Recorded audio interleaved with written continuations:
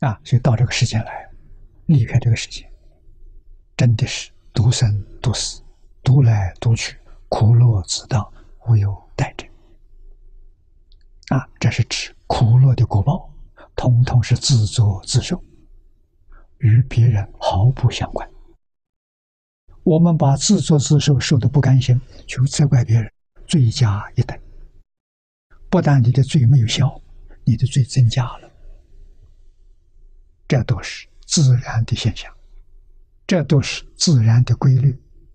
一般人讲要真理，对别人要有敬意，这是一个有智慧的人。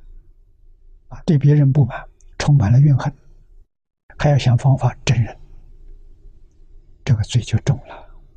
一定要想到来生别人用这个手段来对付我，一定是超过我今天所做的。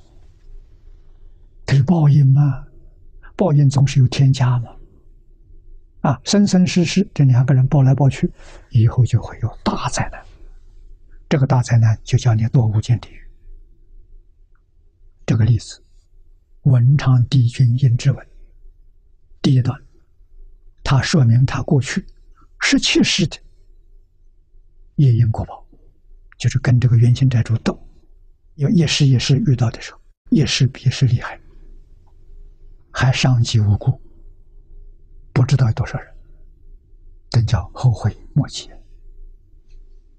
啊！以后遇到佛法，明白了，这才把心中的怨恨一起放下。